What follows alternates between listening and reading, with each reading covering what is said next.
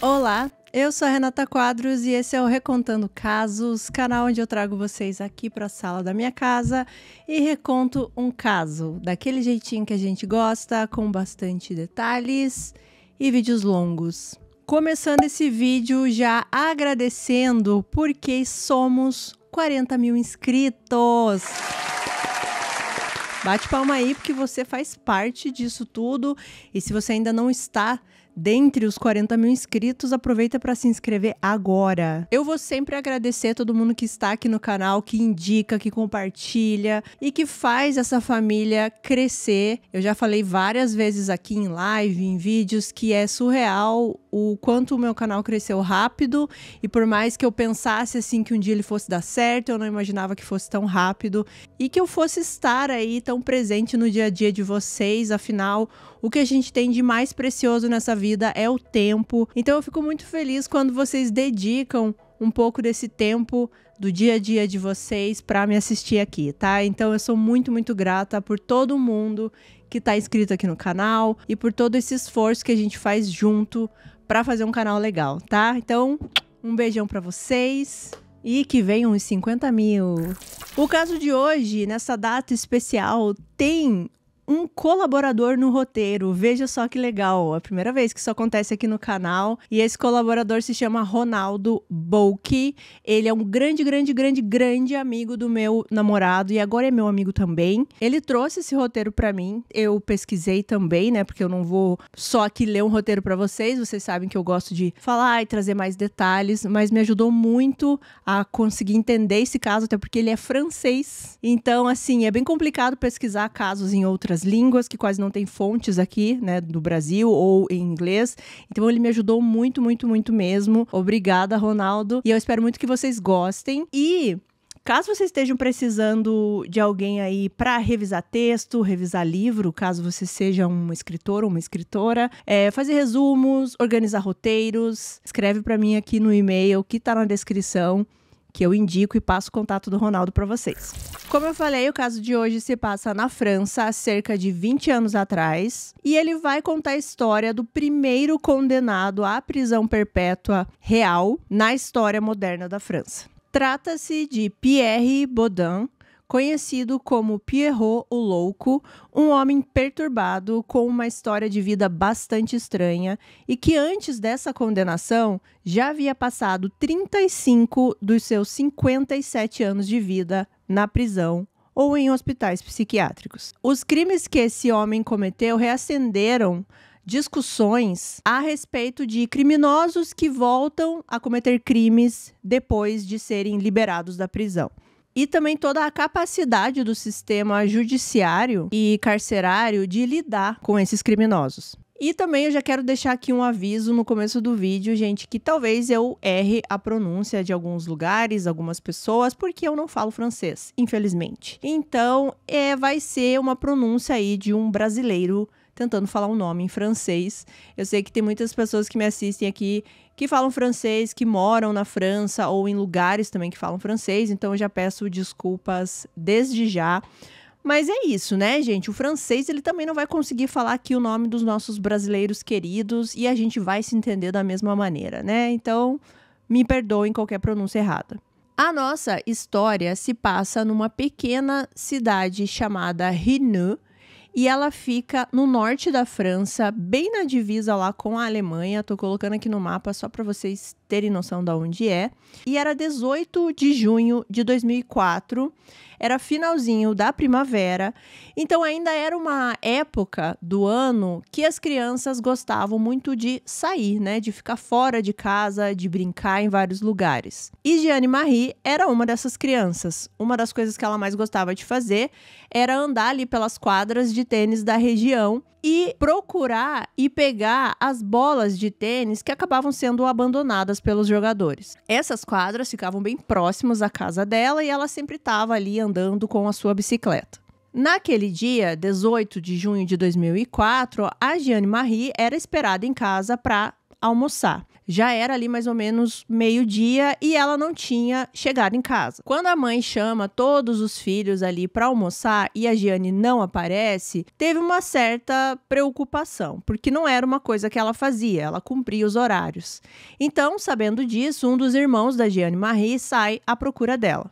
Ele vai imediatamente para essas quadras de tênis que ela gostava de brincar e ele percebe que não tinha nenhum sinal da irmã. Só que procurando um pouco melhor, ele acaba encontrando a bicicleta da irmã. E essa bicicleta foi encontrada de uma forma um pouco preocupante, porque parecia que ela tinha sido abandonada e parecia que a Giane tinha saído às pressas. Era muito estranho porque a Giane Marie, ela não saía sem a bicicleta e essa bicicleta estava ali no chão como se ela tivesse sido jogada ou tivesse caído. O irmão, ele volta para casa para avisar a família rapidamente e todo mundo começa já a se preocupar por causa disso, né? Porque o jeito que foi encontrada essa bicicleta teria que ser algo ruim, não poderia ser algo normal. Então a polícia é avisada, a polícia também já começa ali todos os primeiros procedimentos, porque eles sabem que as primeiras horas ali de um desaparecimento são cruciais. A polícia estava trabalhando com todas as hipóteses desde que ela pudesse ter fugido, ou um acidente, ou o pior de todos, um sequestro. Cem policiais se mobilizaram na procura da Jeanne Marie, cartazes com fotos dela foram espalhados pela região e a busca se prolongou por dias. Na linha de investigação de que ela pudesse ter fugido, a polícia começou a investigar um pouco a família da Jeanne Marie. Ela era a sétima filha de oito filhos e é descrita como uma garota muito adorável e muito alegre. Eles tinham ali uma família mais fechada, digamos assim. A mãe da Jeanne Marie ensinava os filhos em casa e eles eram também uma família bem religiosa. E ao contrário dos irmãos da Jeanne Marie, ela era uma pessoa que gostava de sair, de explorar o mundo. Os irmãos ficavam mais dentro de casa. Mas, conversando mais com a família, a polícia percebeu que, por mais que fosse uma família mais rígida, mais fechada, eles não conseguiam encontrar ali nenhum ato de rebeldia na família, nenhum indício de que desse a entender que a Giane queria fugir.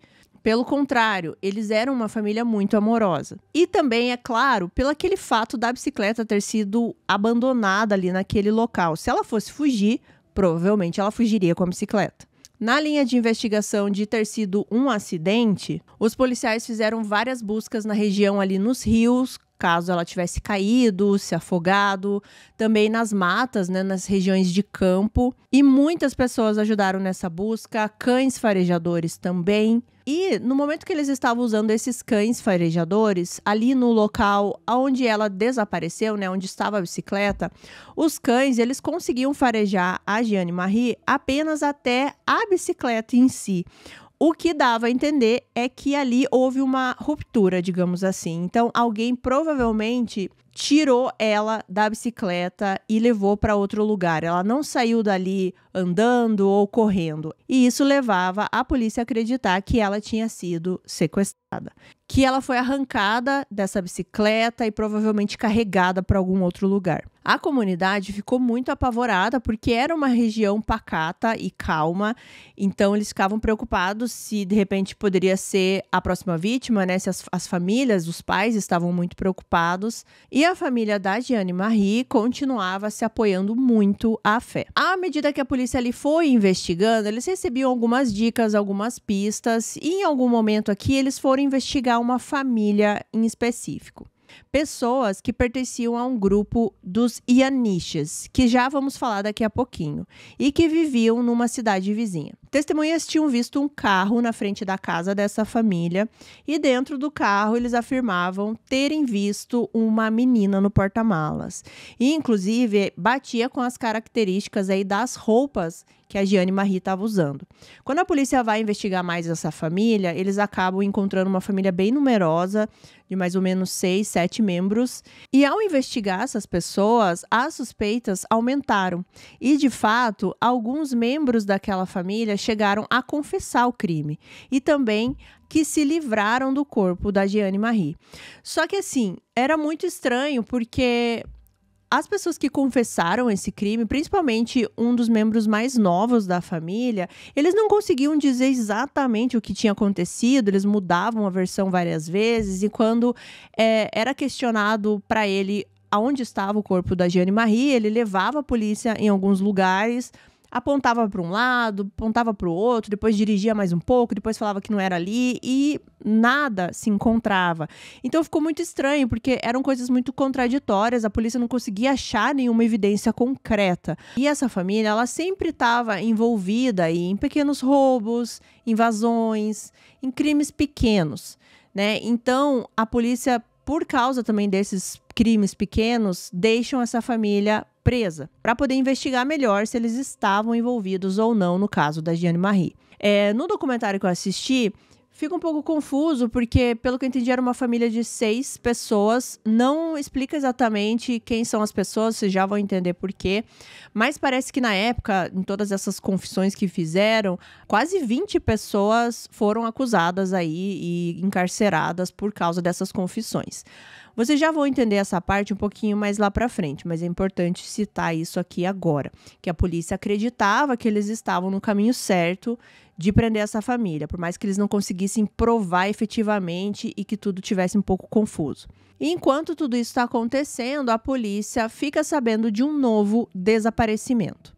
Era o dia 25 de junho de 2004, ou seja, uma semana depois do desaparecimento da Gianne Marie. A mãe de Julie, de 14 anos, estava muito preocupada que a sua filha não tinha retornado para casa. Habitualmente, a Julie, ela voltava para casa cerca de 6, 6 e meia para jantar e ela já estava ali alguns minutos atrasada. De início, a mãe não se preocupou tanto, porque poderia ter acontecido alguma coisa, ela resolveu ficar um pouco mais tarde, mas isso foi mudando conforme as horas foram passando e ela ficou cada vez mais preocupada. Ela decide ligar para um amigo da Julie que sempre andava de bicicleta com ela e ele diz para ela que eles estavam andando de bicicleta durante a tarde, mas que por volta das 5 da tarde eles se separaram e cada um seguiu um caminho. A mãe fica muito preocupada, claro, e ela resolve fazer uma busca por conta própria. Ela sai de carro e começa a percorrer os lugares que ela sabia que a filha andava de bicicleta. Ela também vai para esses lugares assim mais de campo, rodovias, porque ela achava que pudesse ter acontecido algum acidente, mas nenhum sinal da Jolie. A Julie, ela era uma adolescente muito responsável. Ela era a mais velha de quatro filhos e ela já tinha muita responsabilidade sobre seus irmãos e não existia nenhum indício ou qualquer motivo para que ela fugisse. Além disso, ela estava sem dinheiro e sem os seus documentos, sem qualquer coisa de que pudesse precisar no caso de uma fuga. A mãe avisa a polícia e a polícia tenta tranquilizar essa mãe, dizendo que provavelmente não teria nada a ver com o caso da Gianne Marie, que já estava desaparecida há uma semana. E por que, que eles falavam isso? Porque eles acreditavam que os suspeitos do que aconteceu com a Gianne Marie estavam presos, que era aquela família, daquelas confissões todas confusas. Bom, aqui, assim como no caso da Gianne Marie, eles também tiveram todo o apoio aí da população que começou a procurar a Julie por todos os lugares. Eles também questionavam muitas pessoas, né? Iam investigando, perguntando se alguém tinha visto ela e, enfim, eles conseguem uma informação muito importante. Um morador local é, avisou a polícia que ele viu a Julie de bicicleta conversando com um homem dentro de um carro branco. Um outro morador ali da região conseguiu confirmar que esse carro branco era um Escort branco e também conseguiu a placa desse carro. Uma dessas testemunhas conseguiu até dar algumas características desse homem dentro do carro que era um homem que estava mais ou menos ali na casa dos 50 anos, tinha uma aparência um pouco perturbadora, meio desleixada, e eles conseguiram também dizer à polícia que eles repararam que no porta-mala desse carro parecia que tinha uma bicicleta lá dentro, porque você conseguia ver as duas rodas da bicicleta meio que saindo para fora do porta-malas. A polícia pega todas essas informações, principalmente aí a da placa do carro, né, e vai tentar encontrar quem é o dono. E logo eles descobrem. Esse homem era bem conhecido já das autoridades. E o nome deste homem é Pierre Baudin. um fabricante de cestos de 57 anos que estava em liberdade condicional fazia cerca de três meses. E todos ali da região sabiam que Pierre Baudin era um criminoso de longa data. A polícia ela não demorou muito aí para encontrar o Pierre Baudin. Inclusive, quando eles encontram, ele estava com o escorte branco. Eles levam ele sob custódia e começam o interrogatório. E de cara ele já disse que não tem nada a ver, que ele não conhece a Julie. Só que a polícia notou que ele fornecia algumas explicações bem complicadas e contraditórias. A polícia também conseguiu perceber que ele tinha uma ferida na mão e essa ferida ele também não conseguiu explicar de onde veio. A polícia então resolve investigar né, e fazer buscas ali dentro do carro do Pierre Baudin. Eles encontram uma meia branca e um boné, ambos manchados de sangue, uma faca de cozinha e chave de fenda. Só que o Pierre Baudin, ele apresenta um álibi para a polícia. Ele fala que no momento do crime ali que eles estavam investigando, ele estava acompanhado por uma jovem mulher. E eu não entendi muito essa parte que vou confessar para vocês pesquisando, né? Por que ele falou desse álibi? A polícia não pôde ficar com ele ali até confirmar esse álibi e também examinar tudo aquilo que foi encontrado no carro. Então eles não conseguiram manter ele preso nesse momento e ele é liberado. É claro que, por mais que a polícia tenha liberado ele, a polícia estava assim muito em alerta, né, com esse cara. Eles sabiam que ali existia algo muito estranho, mas eles tinham que verificar todas essas evidências, confirmar o álibi, enfim. E, ao mesmo tempo, continuar aí com outras outros caminhos da investigação. A mãe da Julie, ela ainda acreditava que a filha tinha apenas fugido. Porque, segundo ela, ela falava que ela via isso em outras famílias, né? De a, a adolescente fugir e depois voltar de, depois de alguns dias. Era uma coisa que ela via acontecendo. Então, ela acreditava que era isso que tinha acontecido com a filha dela. Só que três dias depois que ela desapareceu, a bicicleta da Julie é encontrada. E ela foi encontrada a poucos quilômetros ali de onde ela foi vista pela última vez. E nesse ambiente da bicicleta, eles encontraram várias evidências. Vamos lá. No guidão da bicicleta tinha alguns respingos de sangue. Eles encontraram também marcas assim no chão, né, no solo. Eles encontraram também um pedaço de uma lanterna de carro quebrada, aquela parte vermelha de plástico assim. Então, eram evidências importantes, eles coletam tudo para analisar. E a polícia, nesse momento, ela tinha ali dois pensamentos. Um é que dificilmente eles acreditavam que a Julie estivesse viva, dada ali as circunstâncias da bicicleta dela e de ter sangue na bicicleta, que até esse momento aqui eles não sabiam exatamente de quem era, né?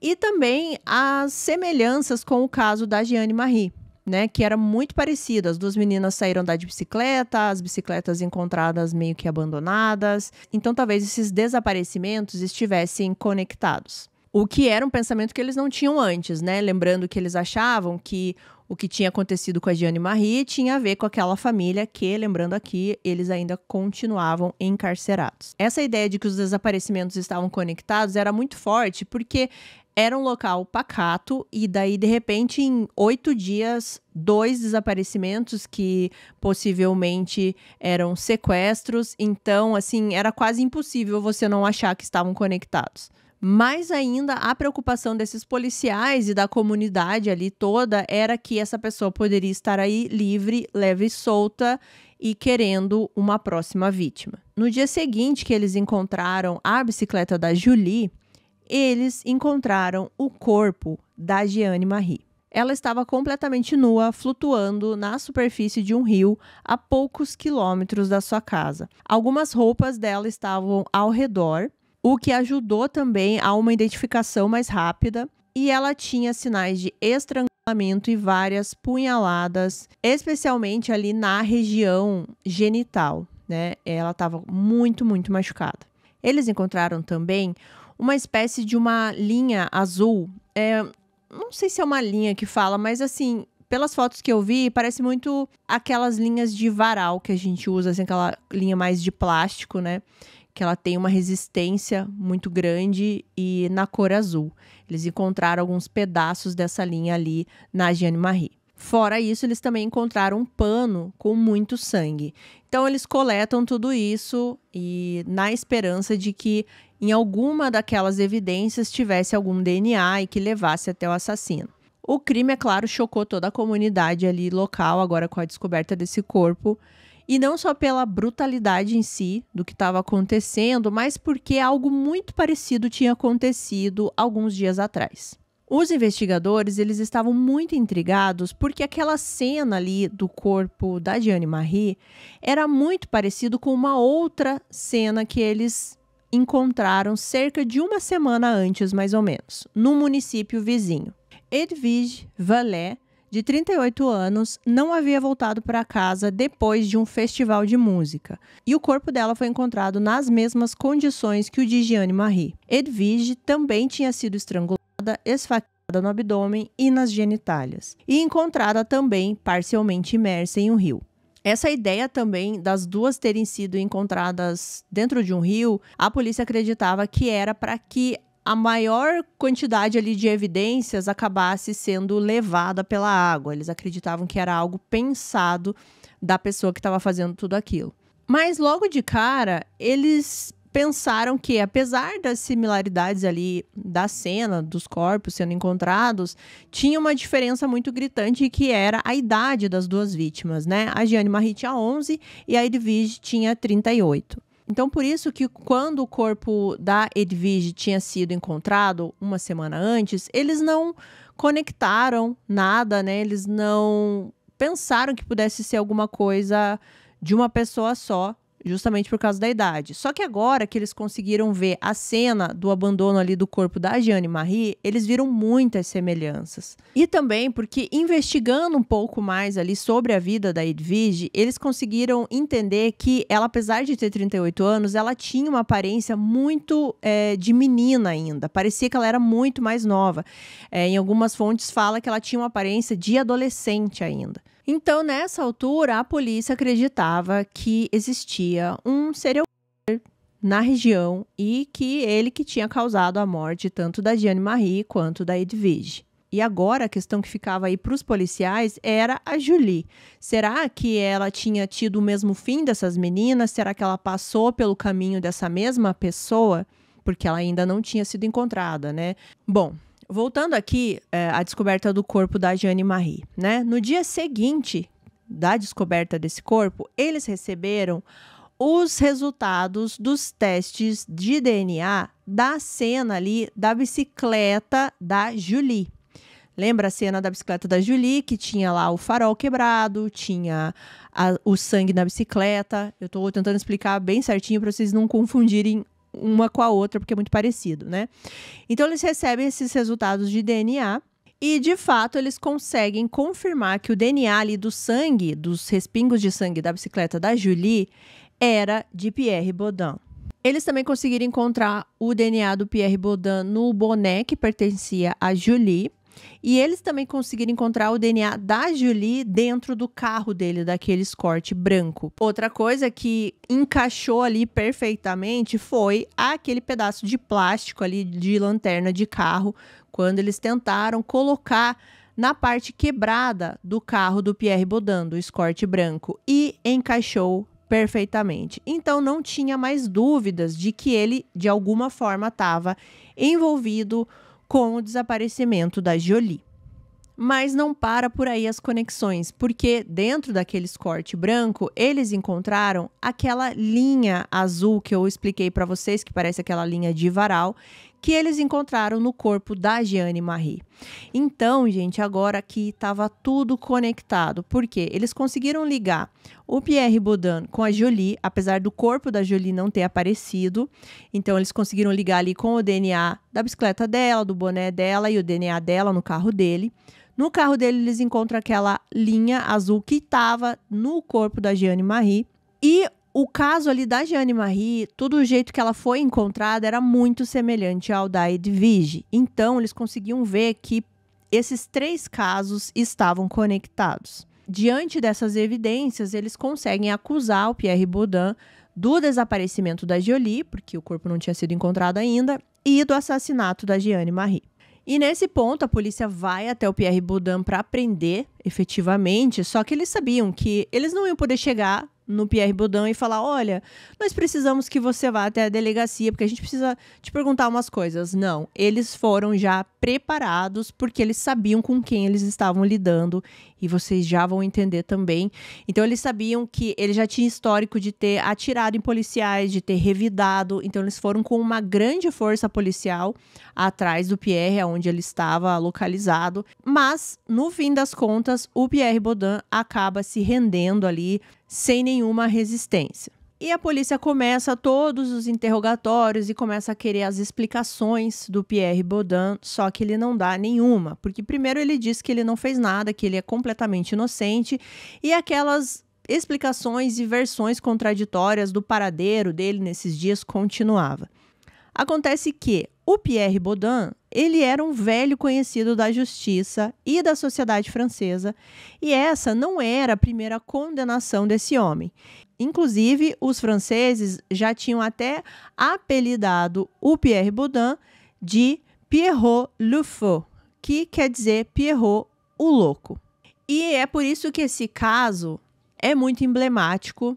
Eu vou explicar tudo certinho aqui para vocês, mas não só pela brutalidade, mas também porque vai mostrar a fragilidade aí do sistema judicial e do sistema carcerário. Então agora eu vou mostrar aqui para vocês com quem a gente está lidando aqui nesse caso. Vamos conhecer um pouquinho da história do Pierre Baudin. O Pierre Baudin, ele nasceu em 1947 e ele era o 11º filho de um casal que tinha 16 crianças. A mãe era dona de casa e o pai pedreiro. A família, ela vivia em condições bastante modestas e o Pierre, ele não foi muito longe aí nos estudos, embora ele soubesse ler e escrever. Dos 14 aos 19 anos, ele trabalhou como operário. A biografia de Pierre Baudin é marcada por traços estranhos e perturbadores.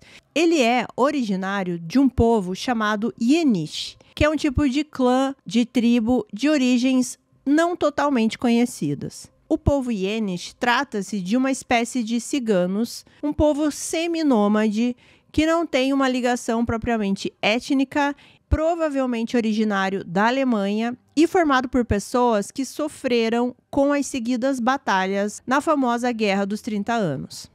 Esse povo, ele começou a viver ali uma vida itinerante. Eles se instalavam às margens das cidades e dos povoados, sobreviviam ali de trabalhos manuais simples. Eles desenvolveram uma linguagem própria, mas que ia assimilando aí um pouco da linguagem de cada lugar que eles passavam. Eles eram um povo assim bem fechado. As pessoas achavam eles estranhos, até porque dentro ali deles eles estimulavam o casamento entre pessoas da mesma família. Eles eram bastante dados aí ao alcoolismo e como eu falei, eles eram bem fechados, o que dificultava também que eles se encaixassem ali na sociedade dos lugares aonde eles passavam foi um povo que foi até perseguido durante meio século na Suíça e também pelos nazistas, assim como aconteceu com outros povos ciganos durante a Segunda Guerra Mundial. E no geral, a história desse povo ela é marcada pela marginalização, como eu falei, pela rejeição, pelo isolamento e também por todos esses hábitos estranhos, né? E infelizmente, o povo Yeniche ficou ainda mais conhecido depois do caso do Pierre Baudin. A vida criminosa do Pierre Baudin começou bem cedo. Ele começou praticando furtos, roubos e, segundo ele, ele dizia que ele se tornou um ladrão por necessidade, porque ele precisava sustentar a família. A primeira vez que ele foi preso foi em 1969, com 22 anos, por uma série aí de roubos, assaltos e também assédio sexual. E aí foi o começo de uma longa série de prisões e libertações também.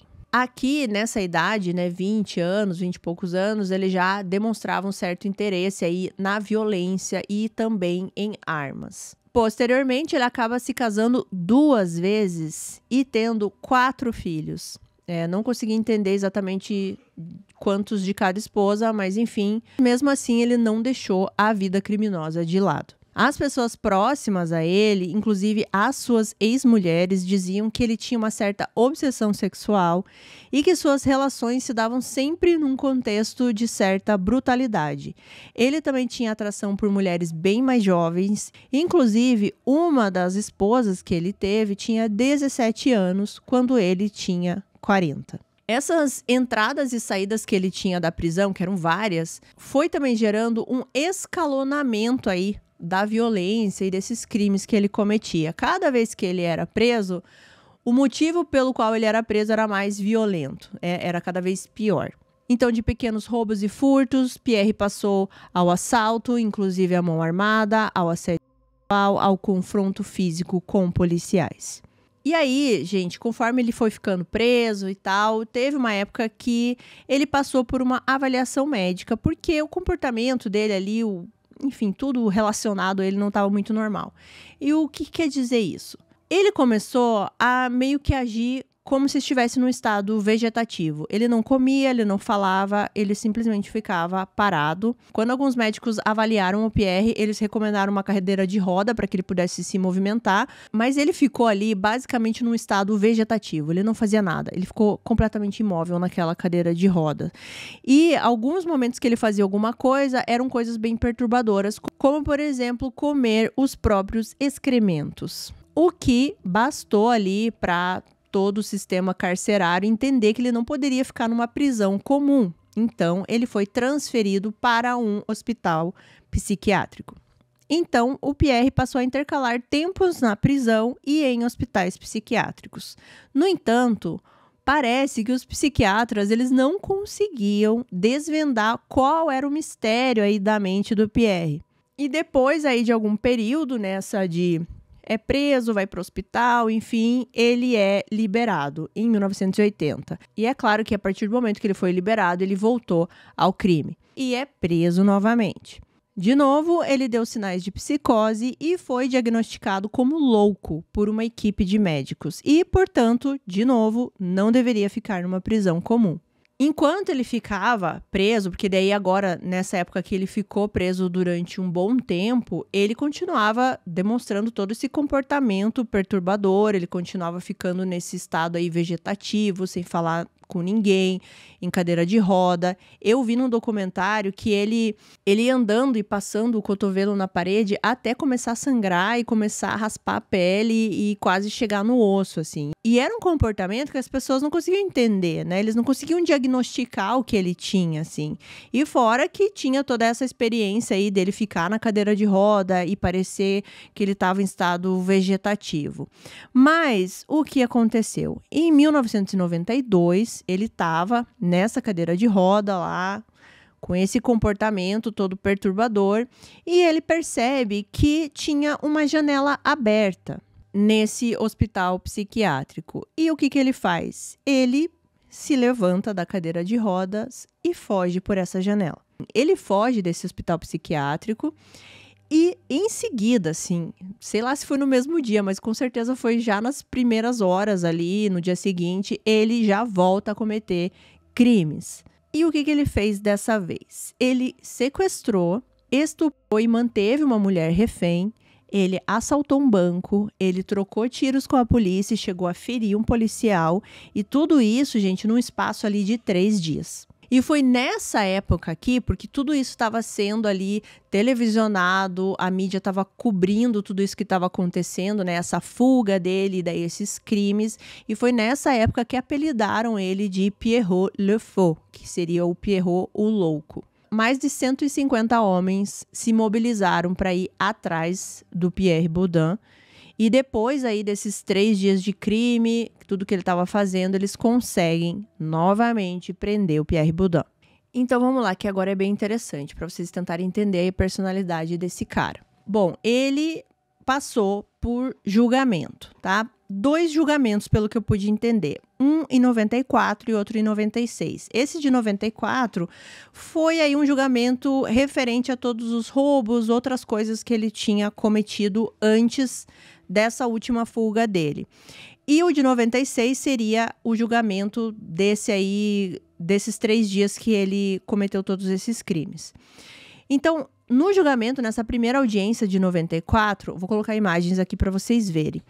Ele apareceu no julgamento de uma forma assim, meio que um olhar meio vazio, né? Você parece que olha para ele se não vê nada assim, e daí ele ficava tendo comportamentos durante essa audiência de ficar levantando e, e sentando sem nenhum motivo. A expressão ali corporal dele, né? Os tiques que ele tinha, ele tinha vários tiques e ele gaguejava bastante, ele falava alguns comentários que as pessoas não conseguiam entender, e dava para ver que não era uma pessoa que estava ali numa sã consciência, certo?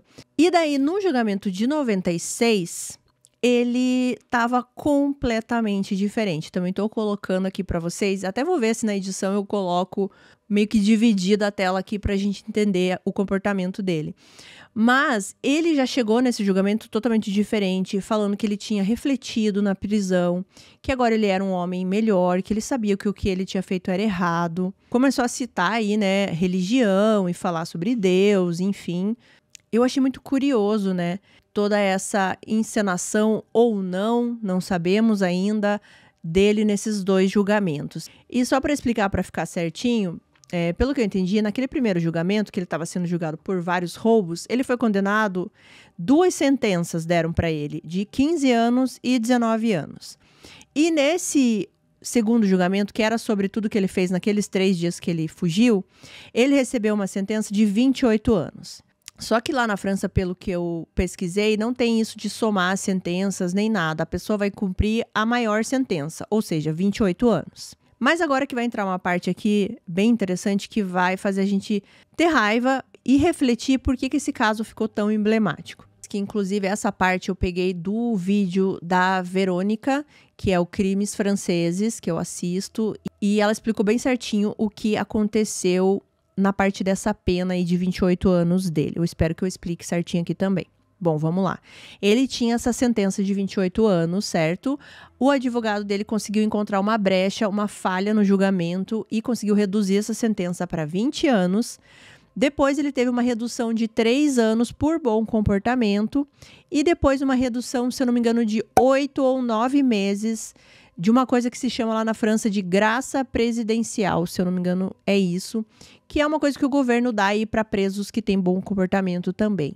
Então, a sentença dele de 28 anos passou para 13 anos, que ele também não cumpriu inteira porque ele saiu em liberdade condicional 10 meses antes de fechar aí os 13 anos. E realmente parecia que ele tinha virado esse prisioneiro modelo ele cumpria todas as ordens, ele estava levando aí uma vida disciplinada, obediente, ordeira, e em 15 de março de 2004 ele estava livre. Então vamos lá, 15 de março ele estava livre. Os casos que a gente está contando aqui aconteceram quando? Em junho. Então vamos lá, março, abril, maio, junho. Três meses. Três meses que ele estava livre ele começou a fazer esses crimes horríveis. E essa é a grande questão desse caso. Um advogado que o Pierre Baudin teve aí durante toda essa vida criminosa dele, que pelo que eu entendi foi o advogado que cuidou dele nessa fase aqui, que ele estava com um bom comportamento na prisão, enfim. Ele falou num documentário que eu assisti que ele não conseguia reconhecer o cliente dele que ele tinha conhecido ali na prisão, que era um cara comportado, que estava seguindo todas as ordens, com esse cara que a mídia estava agora pintando ali, que tinha cometido esse crime horrível com essas meninas. Ele não conseguia associar que era a mesma pessoa. Então, para vocês terem noção do grau e do poder de manipulação que esse homem tinha. Bom, voltando aqui, agora que a gente já conheceu aí a história dele, voltando para as investigações, a polícia continuava investigando tudo que tinha ali relacionado com ele e eles vão investigar um trailer, que pelo que eu entendi era onde ele estava morando. E lá nesse trailer, eles encontraram vários desenhos aí bem perturbadores, como tudo relacionado a esse cara. Ele desenhava muito a genitália feminina, qualquer coisa associado aí à anatomia feminina. E parece que ele tinha também esses desenhos lá na cela dele, na prisão. O Pierre Baudin, ele era obcecado pela virgindade e depois os investigadores acabaram descobrindo que ele teve um relacionamento, digamos assim, que ele ficou apaixonado por uma filha de um companheiro dele ali da prisão. Só que essa menina, ela tinha 9 anos de idade. Ele escrevia cartas para essa menina, fazia desenhos para ela, e até na cela dele, nessa época que ele estava aí de bom comportamento, digamos assim, ele também desenhava assim paisagens e várias coisas do tipo. Então era tudo aí para também passar essa ideia de que ele estava melhorando, que ele era uma pessoa que estava renovada, né?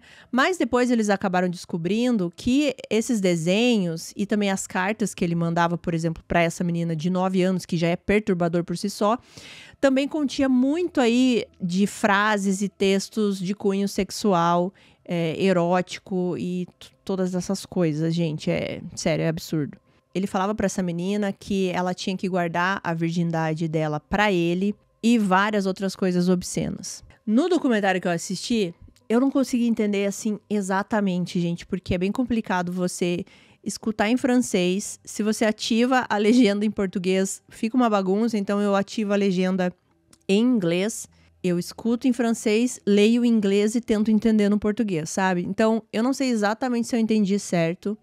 Pelo que eu entendi, esse companheiro da, de prisão que tinha essa filha, pela qual ele estava apaixonado, pelo que eu entendi, ela ia visitar o pai na, na prisão.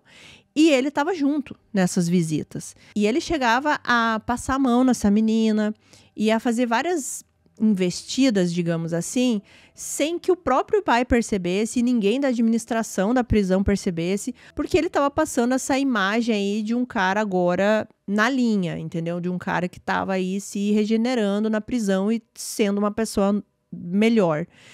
Então eu achei isso muito perturbador, gente, que ele mesmo preso conseguiu ter acesso a uma menina mais nova para ele ter aí essa satisfação das dos desejos perturbadores que ele tinha na cabeça. Um detalhe que a polícia acabou descobrindo, né, conforme ia investigando, é que quando o Pierre Baudin saiu nessa liberdade condicional lá em março de 2004, ele volta a morar com o povo Yeniche, e esse povo estava localizado ali ao redor desses locais que as meninas desapareceram.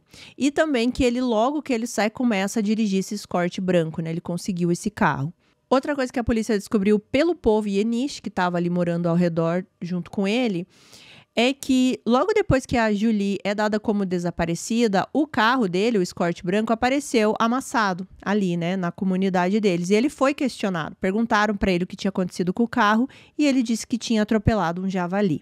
Então, voltando aqui para a cronologia dos fatos, finalmente, dia 3 de julho de 2004, o corpo da Julie é encontrado. E a cena era a mesma: estrangulamento, agressão sexual, dilaceração, a posição do corpo e é claro que ela estava dentro de um córrego. E ela foi encontrada a 40 quilômetros de onde ela desapareceu. Bom, agora com os três corpos encontrados e os três praticamente ali com a mesma cena, né? As mesmos, os mesmos machucados, tudo era muito parecido. A polícia acreditava que essas três vítimas tinham sofrido muito na mão do seu agressor. Tudo indicava que elas haviam sido sequestradas, violentadas, estranguladas e apunhaladas várias vezes e deixadas nesse estado até morrerem no documentário que eu assisti, eles falam sobre a motivação, né? Por que ele fazia isso. E eles discutem que ele tinha essa obsessão pelo que era gracioso, pelo que ainda não havia sido tocado, pelo que era delicado. E a felicidade dele era estragar isso, era manchar, era dilacerar. E era apenas isso que ele queria fazer. Bom, assim que a polícia aí começa a divulgar, né, tudo que eles estão descobrindo e que já estava todo mundo sabendo que o suspeito, né, e possível assassino de, dessas três vítimas era o Pierre Boudin, começou uma revolta muito grande da população. Claro, porque eles questionavam por que um homem desse está solto, ele deveria estar preso, né?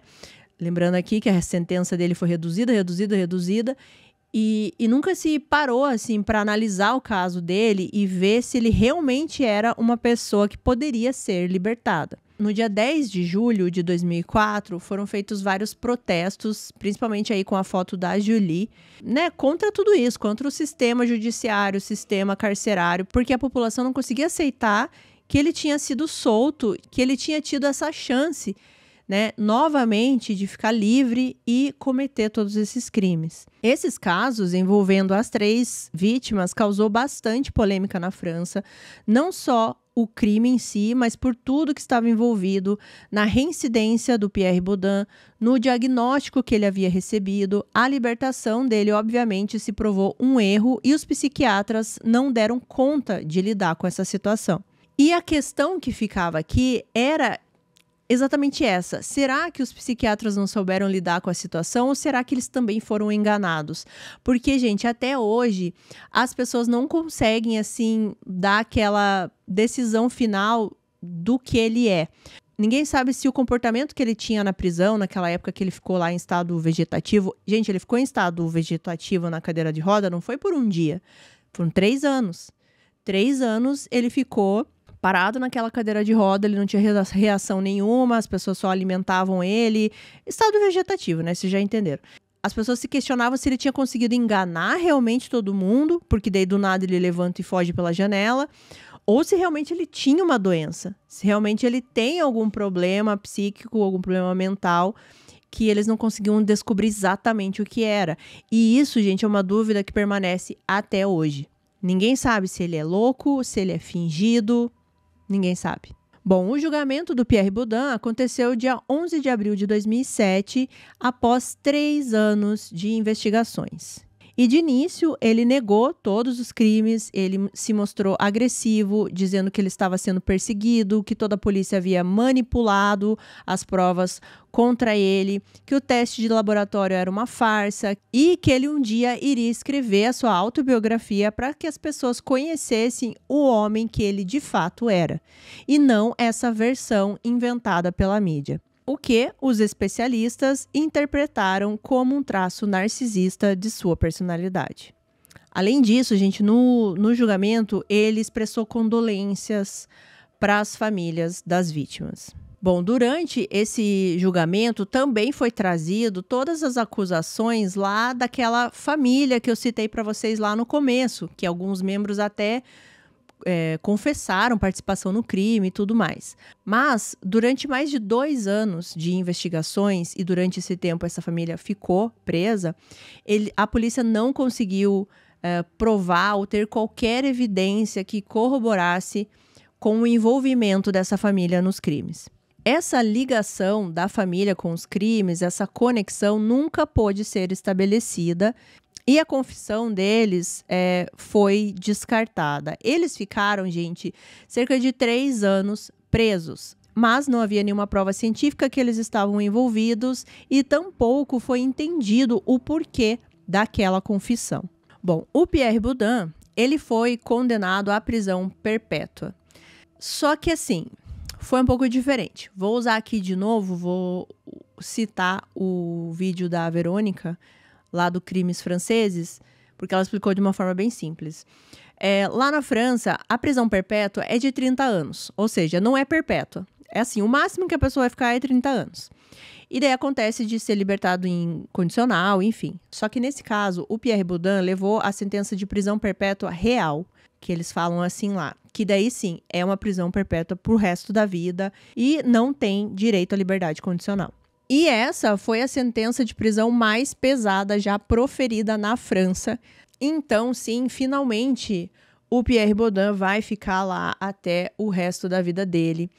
E pelo que eu entendi, ele tentou recorrer dessa sentença, acho que mais de uma vez, mas nada muda, não foi aceito. Dez anos aí praticamente já se passaram dos crimes da Jeanne Marie, da Julie e da Edwige. E eu não consegui encontrar exatamente como eles conseguiram ligar o Pierre Baudin com o crime da Edwige, porque nas minhas pesquisas apareceu mais só sobre o modus operandi, entendeu? A, a, a cena era a mesma, tudo era a mesma coisa ali, né? Os golpes, os ferimentos, enfim. Eu não consegui encontrar algo mais específico, como eles ligaram. Mas, enfim, ele foi condenado por esses três crimes. A família da Julie, ela criou uma fundação, o nome da fundação é Julie Foundation, que é uma fundação com o objetivo de alertar assim e convidar a justiça a ficar cada vez mais vigilante no caso de reincidentes. E também todos os anos essa fundação faz uma marcha em nome das vítimas. Hoje, depois de tudo que o Pierre Baudin fez, os advogados e psiquiatras envolvidos no caso conseguiram compreender melhor que, na verdade, o Pierre Baudin é um sujeito incompreensível.